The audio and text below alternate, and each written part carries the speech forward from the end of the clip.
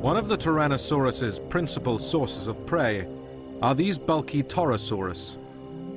In the late Cretaceous, herds of horned herbivores like these are very common and attract many predators.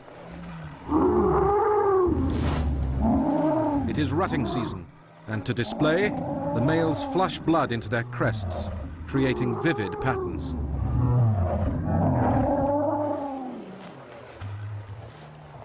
These displays are designed to avoid physical contact. With one meter long horns, fighting can easily result in bad injuries. The best and the brightest display crest is usually all that is needed to settle arguments.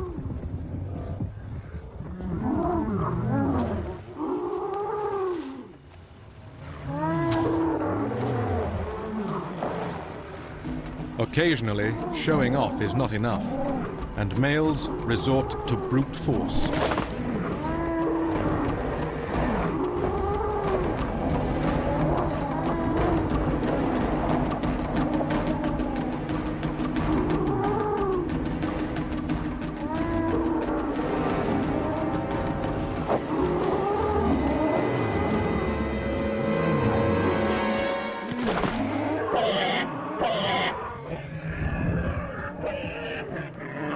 For this old Torosaurus, this was one fight too many.